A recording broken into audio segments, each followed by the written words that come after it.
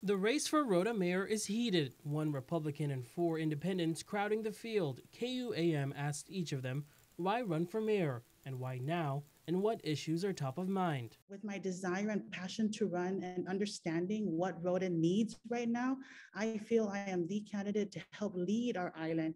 Of who has worked at the current mayor's office for seven years, is a former educator and is running under the Republican banner. create an action plan that's going to help guide and be able to direct us and uh, allow our people to hold us accountable This time, there are more independents than party members running for office. I see the opportunity to help out in that community with a lot of programs in mind that I see the need for us.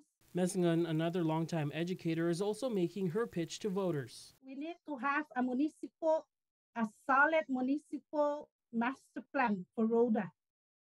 Also, we need to diversify our economy and improve our infrastructure. That was a view shared by each candidate, including Harry Masga. the people of Rota deserve a an honest leader, a true leader, a clean leader, and a corrupt-free administration. He's been a staffer for U.S. Delegate Kilili for the past 13 years on Rota. Everybody is talking about the um, medical referral up in Saipan as well as here, and uh, people wanted to have our own doctors and dentists since uh, five years ago. And sitting Senator Teresita Santos also wants to continue serving, but this time in a more locally rooted seat.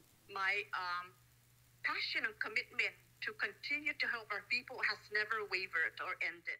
Her top issue is tourism on Rota. To create and diversify and sustain a vibrant economy, uh, you know, we, we, we need to promote our island as a destination of choice by both international and domestic travelers. Alfred Tamanyao shares that goal but wants to see cost of traveling to the island drop drastically. It's part of why he returned home. once I completed do it, did everything I needed to do, uh, I felt that I had to come back and give back to the island of Rota. He says the cost of living on Rota is also top of mind. Cost of living here in Rota is just so steep.